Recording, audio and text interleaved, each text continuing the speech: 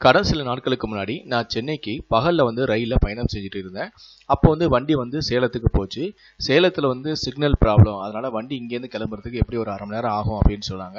கொஞ்ச நேரம் வந்து வண்டியை வந்து சேலத்துடைய ரயில்வே ஸ்டேஷனில் வந்து கொஞ்ச நேரம் போட்டுட்டாங்க. அப்போ அங்கே நிறைய பெண்கள் வந்து வியாபாரம் செஞ்சுட்டு இருந்தாங்க. நிறைய பேர் கூடையில் வந்து பழங்கள் கொண்டு வந்தாங்க. நிறைய பேர் முறுக்கு கொண்டு வந்தாங்க. சமோசா கொண்டு வந்தாங்க. சில பேர் பெண்கள் வந்து பூ வித்தாங்க.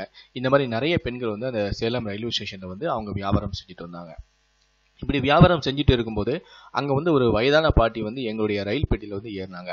அந்த பாட்டி வந்து மாம்பழம் விற்றாங்க அந்த கூடையை பார்த்தேன் அந்த கூடையில் இருக்கக்கூடிய ஒவ்வொரு மாம்பழமும் பார்த்தீங்கன்னா ச- பெரிய சைஸ் இந்த மாதிரி சைஸில் நான் இது வரைக்கும் மாம்பழம் பார்த்ததே இல்லை. எங்கள் ஊரெல்லாம் சின்ன சின்ன மாம்பழமாக தான் இருக்கும். ஆனால் இந்த பாட்டி வச்சுருக்க மாம்பழம்லாம் நல்லா பெருசு பெருசாக இருந்துச்சு. சரி என்ன விலை அப்படின்னு சொல்லி கேட்டேன். மா இந்த மாம்பழம் வந்து டேஸ்ட்டாக இருக்குமா பாட்டி அப்படின்னு சொல்லி கேட்டேன். பாட்டி சொன்னாங்க நான் ஒன்று வெட்டி தரட்டுமா தம்பி? சாப்பிட்டு பார்க்குறீங்களா? அப்படின்னு கேட்டாங்க. இல்லை இல்லை வேணாம் பாட்டி. இங்கே வெட்டினா நான் வந்து வீட்டுக்கு கொண்டு போய் சாப்பிட முடியாது. அதனால் வெட்டாமல் எனக்கு அப்படியே கொடுங்க. உங்களை நம்பி நான் வாங்குறேன். இப்போ டேஸ்ட்டாக இருக்குமா? அப்படின்னு கேட்டேன். டேஸ்ட்டாக இருக்கும் தம்பி. என்னை நம்பி நீங்கள் வாங்கலாம். அப்படின்னு சொன்னாங்க. சரி பாட்டி ஒரு பெரிய பெரிய சை மாம்பழமாக இருக்க ஒரு பாட்டி ஒரு மாம்பழம் எவ்வளோ அப்படின்னு சொல்லி கேட்டேன். எப்படி ஒரு கிலோ ஒரு ஒரு பழம் வந்து ஒன்றரை கிலோ இருக்கும் தம்பி? எண்பது ரூபா கண்ணு அப்படின்னு என்கிட்ட சொன்னாங்க. நானும் பாட்டி வந்து ரொம்ப வயசாயிருச்சு அப்படின்னு சொல்லிட்டு சரி நம்ம ஏதோ வந்து பேரம் பேச வேண்டாம். பாட்டி வந்து வயசான காலத்துலேயும் உழைச்சி தான் சாப்பிட்றாங்க. அவங்கள நம்ம ஊக்குவிக்கணும் அப்படின்னு சொல்லிட்டு என்ன பண்ணேன்னா நான் எதுவுமே வந்து பேரம் பேசாமல் எண்பது ரூபாய் கொடுத்துட்டு ஒரு ஒரு ஒரு மாம்பழம். அதாவது ஒரு ரெண்டு மாம்பழம் நான் வாங்கிட்டேன். அதாவது கிட்டத்தட்ட எண்பது எண்பது நூற்றி அறுபது ரூபா கொடுத்து நான் ரெண்டு மாம்பழம் வாங்கிட்டேன். பாட்டி சரி பாட்டி நான் எனக்கு ரெண்டு மாம்பழம் கொடுங்க அப்படின்னு சொல்லி காசு கொடுத்து வாங்கிட்டேன்.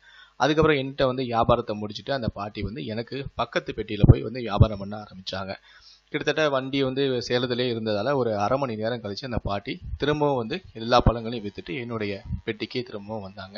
அந்த பாட்டி வந்து மெல்ல மெல்ல நடந்து வந்தாங்க என்கிட்ட வந்தாங்க. என்கிட்ட வந்த உடனே வந்து பாட்டியோட மடியில் இருந்து ஒரு பெரிய மாம்பழத்தை அவங்க கட்டி வச்சுருந்தாங்க.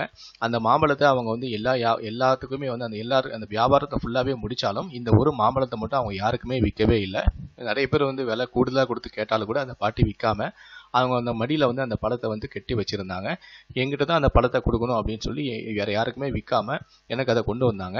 பாட்டி எதுக்கு பாட்டி எனக்கு நீங்கள் கொடுக்குறீங்க? எனக்கு தான் ஏற்கனவே வந்து ரெண்டு பழம் இருக்கு நான் வாங்கிட்டேனே. அதுவே எனக்கு போதும். எங்கள் வீட்டில் மொத்தமே நாலு பேர் தான் இதுவே எங்களுக்கு ரொம்ப ஜாஸ்தி. அதனால் வேண்டாம் பாட்டி அப்படின்னு சொன்னேன். அந்த பாட்டி வந்து என்ன சொல்லிச்சு? இல்லை கண்ணு இந்த இந்த பெட்டியில் மட்டும்தான் எல்லா அந்த பெட்டியில் பக்கத்து பெட்டியில் போய் நான் விற்க போனேன்ல அந்த பெட்டியில் எல்லாருமே வந்து நான் எண்பது ரூபா சொன்னாலும் அவங்க எல்லாருமே விலையை கம்மி பண்ணி ஐம்பது ரூபாய்க்கு தான் வந்து எங்கிட்ட வாங்கினாங்க. எல்லாருமே பேரம் பேசி என்கிட்ட ஐம்பது ரூபாய்க்கு எல்லா பழத்தையும் வாங்கிட்டாங்க. ஆனால் நீ மட்டும் தான் தம்பி நான் வந்து சொன்ன விலையே வந்து பேரம் பேசாமல் எண்பது ரூபான்னு சொன்னோடனே நீ அந்த எண்பது ரூபா ரெண்டு எண்பது ரூபா கொடுத்து நூற்றி இருபது ரூபாய்க்கு நீ வந்து பழம் வாங்கிட்ட. ஆனால் மற்றவங்க எல்லாத்துக்கும் நான் ஐம்பது ரூபா தான் பழம் விற்றேன் ஆனால் உனக்கு மட்டும் தான் நான் வந்து எண்பது ரூபாய்க்கு பழம் விற்றேன் நீ எங்கிட்ட பேரம் பேசாம எனக்கு மனசு பேரம் பேசாம வாங்கினதால எனக்கு மனசே கேட்கல இதை தயவு செஞ்சு வாங்கிக்கோ. ராத்திரி எனக்கு தொண்டில வந்து சோறு வந்து இறங்காது. தயவு செஞ்சு இந்த நீ பழத்தை வாங்கிக்கோ அப்படின்னு சொல்லி அந்த பழத்தை என்கிட்ட கொடுத்தாங்க. இந்த பழத்துக்கு நீ ஏற்கனவே காசும் கொடுத்துட்ட. வாங்கிக்க கண்ணு. தயவு செஞ்சு வாங்கிக்க கண்ணு அப்படின்னு சொல்லி எங்கிட்ட அந்த பழத்தையும் கொடுத்தாங்க. அந்த பாட்டியின் நேர்மையை பார்த்து கண்களில் மெல்லிய நீர் படலம் படர்ந்து கண் ஓரங்களில் கண்ணீர் ஒதுங்கியது. இப்படியான நேர்மையான மனிதர்களால் இனிமை எளிமையானவர்களால் அழகான இந்த உலகம் பேரழகாகி விடுகிறது.